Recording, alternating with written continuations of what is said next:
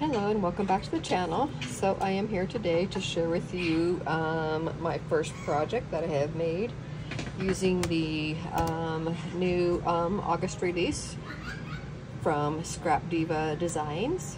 Um, I did a unboxing video last night to show you all the different ones and today I'm going to show you what I made with the first one I chose to work with. Um, the one I chose to work with first is the 3D carousel gift box. So these are the pieces that come with it. Um, these you cut out three times. Okay. This is a layering piece that you can layer on top of that one. Okay. This is the base. Okay, these are all going to fold up and that's going to attach to these sides as you fold them.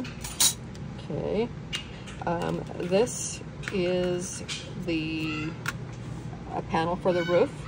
Okay, and you're going to cut out six of these. This is the layering piece for that right there. This is the ruffle piece that layers right, um, right on top of that. And there's this other one that layers just a little bit shorter, so you can have two layers of ruffle if you wanted to. Okay, and then this piece here is to um, like give a, you know, like a little frame around these shapes, these windows. Okay, and what's last? Oh, this piece right here makes a, you know, a flag banner that you can put on a straw or a stick or nothing if you want to. so that is the die set. Again, it's called 3D Carousel Gift Box. So, since it was called 3D Carousel Gift Box, I had to use carousel and make mine a carousel gift box. Oh, I love this. It is so pretty, you guys. This die is a must-have. And it's such good size. I mean, look at that. It is probably, let's see, um, that would be three to, it's like five and a half inches wide. So that is really, really cool. So I cut all of my um, base out of out of 110 pound pink cardstock. Okay, that's what all my base layers are. And then I cut all the layering pieces and then I stitched on them before I um, added them to the, um, the base pieces. Um, I stitched on the top before I layered those. I stitched on all the ruffles around. So I, I used I, I used the first layering piece and the shorter layering piece. So I have that all the way around. Okay. Um, I also made mine shakers. So every other window is a shaker and then the other opposite windows from them I just made um, uh, you know I just decorated so this is really sturdy and it's really good sized. So there's all the pieces. So um, how I oops took off my lid. So how I did the um, uh, shakers is I took a, um, like a pocket letter, cut out each piece, you know, each um, square, and trimmed it down so it would fit behind here. I filled it with some sequins and then um, uh, taped it all back up, and then I sandwiched it in between the base ink piece and the layering piece. So it's all inside there, not going anywhere. So, so this is out of that, you know, little softer plastic. It's not like hard acetate, okay? And then I just decorated it all up with some of the carousel, um, you know, like uh, stickers and ephemera and stuff. This is the flag that comes with this die set. So I just uh, wrapped it around a little, it's like a little stick. And then just tucked it behind here, put a little pom-pom, some flowers, some of those little, of those little picks from um, Dollar Tree. This is uh, one of the leaves, Capsella leaves from Scrap Diva also. This is a uh, flower that somebody had already made me. It was in my stash. It's gorgeous. Um, this is one of the stickers. This is a layered sticker from Hobby Lobby, that one that has all the carousel pieces. And then I just stuck one of the um, stickers from the collection on this one window. Okay, so then there's another shaker there on that one. And this side I got a sticker on the back of that window also, and then a couple of ticket tickets that I had in my stash, and then a chipboard star from the from the chipboard um, collection, and then this other piece of ephemera from um, was a sticker from that same carousel type pack from Hobby Lobby.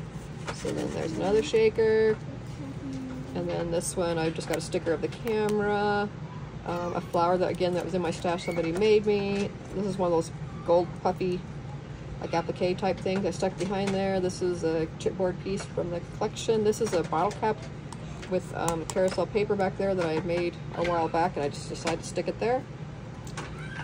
Okay, so that's that. So look how big that is inside there. I mean, it holds a lot.